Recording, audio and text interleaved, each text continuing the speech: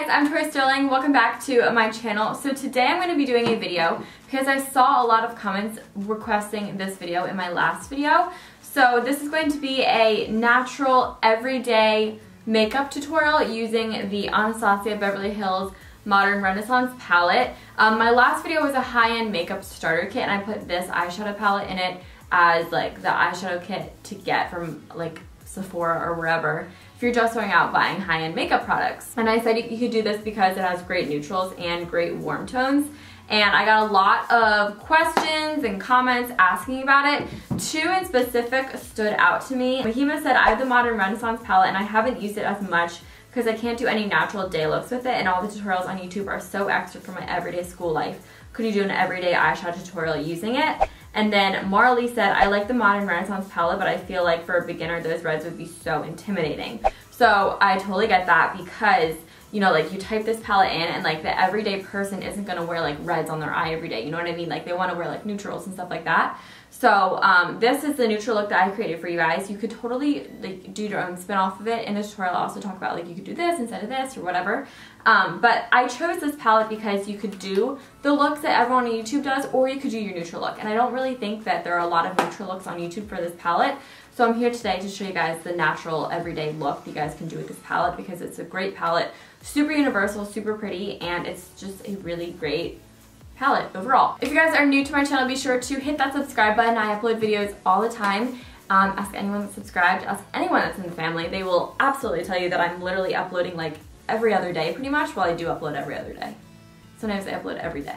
It depends on the day. It depends how I'm feeling, you know what I mean? Um, so yeah, I would love it if you guys would subscribe and join the family. We are so close to 300,000 subscribers, which is so crazy. Like 300,000 people is insane. But besides the point, let's get on to this everyday natural makeup tutorial. Obviously, you're gonna wanna take your Modern Renaissance palette, and I'm taking a fluffy brush. This is a MAC 224. Any brush that is fluffy is gonna work for this. You do not have to use this brush. Whatever you have will work. And I'm gonna take this shade right here called Burnt Orange.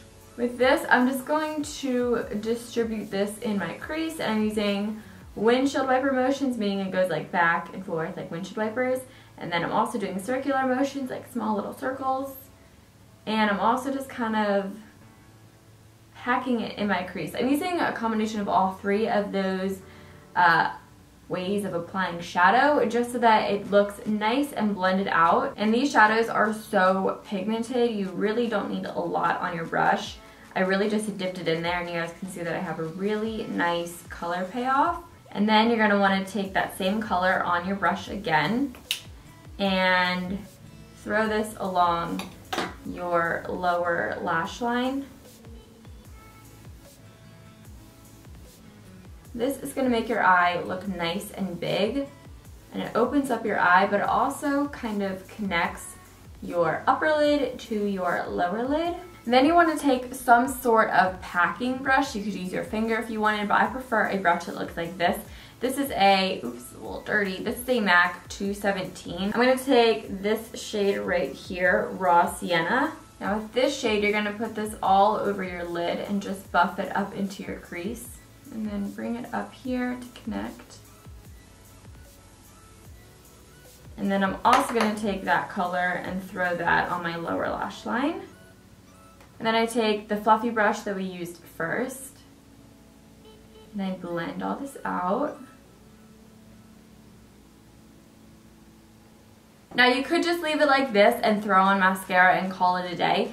Um, this is like a really pretty kind of look that you see all over like Instagram and stuff. It's just the effortless, natural kind of look. But I like to add a little bit of lightness to my eyes. So I'm going to go in with a rose water spray. You can use Fix Plus water, setting spray, whatever you have.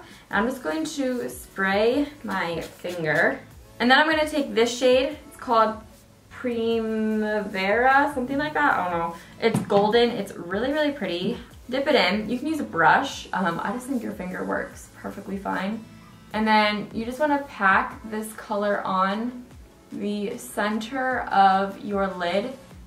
You guys can just tell it brings light to your eye.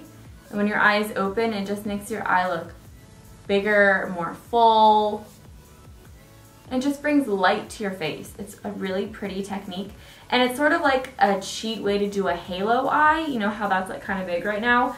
Um, yeah, this is just a really easy way to do it. Then I'm gonna mix these two shades, Primavera and Vermeer. I'm just taking this on a small synthetic flat brush and then I'm just gonna pack this on my inner corner. Normally whenever I do my inner corner highlight, I just kind of keep it right where my inner corner really is.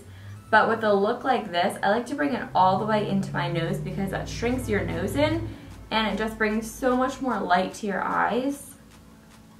Then I go with a bigger flat shader brush. You can use the same one if you want. Um, and then I take the shade Tempera. This is just a matte shade. You could definitely put highlight underneath your brows if you wanted to. I just decided to keep it matte. Okay, so I'm gonna put my mascara on my upper and lower lashes, but I'm making sure to curl my lashes a lot, especially if I'm not putting on falsies as much as it breaks my heart. I need my lashes to be curled. And this is my good eye with lashes, so I'm very anxious to see how this eye looks. Um, I'm using the Smashbox X-Rated Mascara. I really like this. I think the formula is really nice nice and creamy. For my mascara, I'm really focusing on the base of my lashes. So I'm putting the wand here. I'm kind of closing my eye. And as I close my eye, I twirl the wand like that. You know what I mean? And that is the eye. It's really simple, but everyday natural. Thank you guys so much for watching this video. I really hope you guys all did enjoy it. If you guys want to see more looks on this palette, I have one right here. This is like a neutral glam. And then I also have a more red cranberry toned look. So you guys can get like glam on both ends of the spectrum of this palette and then also this neutral look. So thank you guys so much for watching. I love you all so much and I'll talk to you guys soon. Bye.